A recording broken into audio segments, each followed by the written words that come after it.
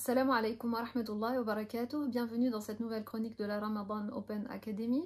Euh, Aujourd'hui, Inch'Allah, nous allons parler du 9e juz du Coran qui va euh, commencer au verset 88 de Surat Al-A'raf et se terminer au verset 40 de Surat Al-Anfal.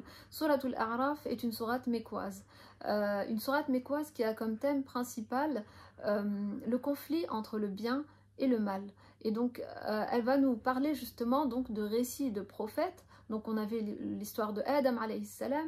Ensuite, dans le, donc le juz précédent, il y avait euh, le récit de Nuh alayhi salam et d'autres prophètes jusqu'à Shu'aib alayhi salam. Là, nous reprenons dans ce juz euh, l'histoire de Shu'aib. Euh, le, le commence euh, en plein milieu de l'histoire de Shu'aib salam avec son peuple qui lui dit Nous te sortirons, ô Shu'aib, ainsi que ceux qui ont cru avec toi, à moins que vous reveniez dans notre religion.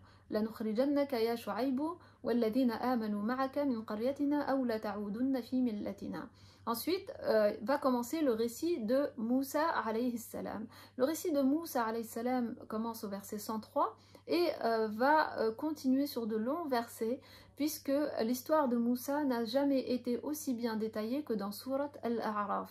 Il sera question de Moussa avec Pharaon. Ensuite, il sera question euh, des sorciers et de leur conversion euh, donc euh, à l'islam. Ensuite, il y aura les épreuves que Pharaon va vivre, et Pharaon et son peuple. Et enfin, la noyade de Pharaon. Puis arrivera donc pendant des, versets, on va voir Moussa salam comme enseignant envers son peuple. Euh, il va y avoir une sorte de pessimisme des, des Banu Israël.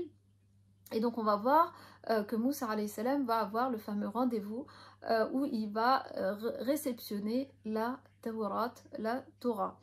Puis il y a l'histoire du veau d'or et il y a aussi l'histoire des gens du Sept et enfin donc l'enracinement de la foi. à la fin de toutes ces histoires-là, on va avoir euh, on va voir comment la foi s'installe petit à petit dans le cœur euh, des, croyants et euh, l'espoir en Allah subhanahu wa ta'ala.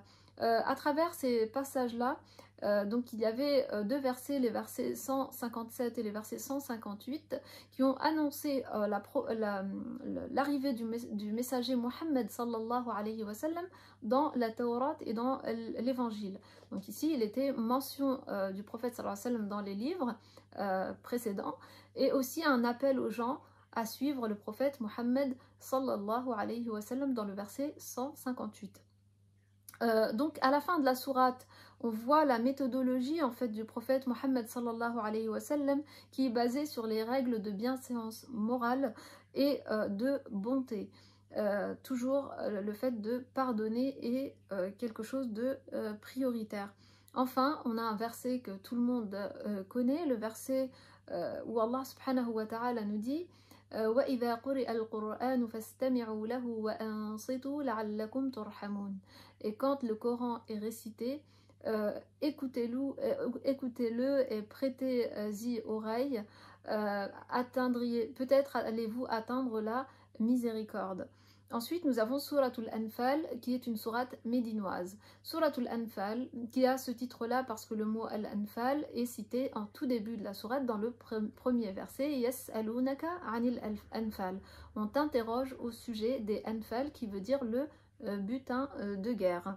Évidemment, le butin de guerre, parce que cette sourate va nous raconter euh, l'histoire de la bataille de Badr al-Kubra, donc dans euh, le détail.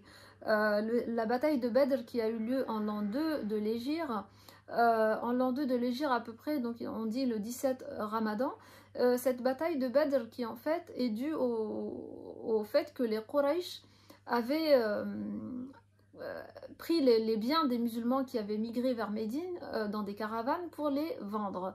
Donc les musulmans ont barré la route à l'une de ces caravanes et cela a déclenché une guerre. Euh, et d'ailleurs, c'est la seule fois où le prophète sallallahu alayhi wa sallam a autorisé qu'on barre la route à une caravane. Donc là, ce phénomène-là, c'est parce qu'il y avait une injustice. Euh, ensuite, donc la sourate commence évidemment euh, par les caractéristiques des croyants.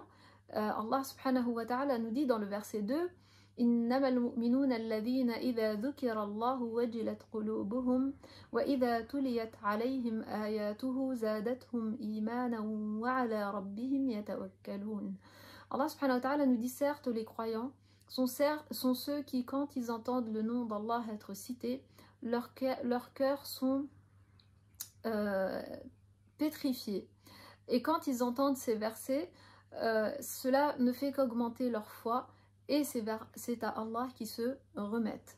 Euh, ensuite, nous avons euh, donc dans la fin, à la fin de, ce jour, des versets 30 à 40 environ, un petit peu le contexte qui va nous relater l'ambiance mécoise et peut-être les raisons pour lesquelles, les raisons qui ont attiré la colère divine.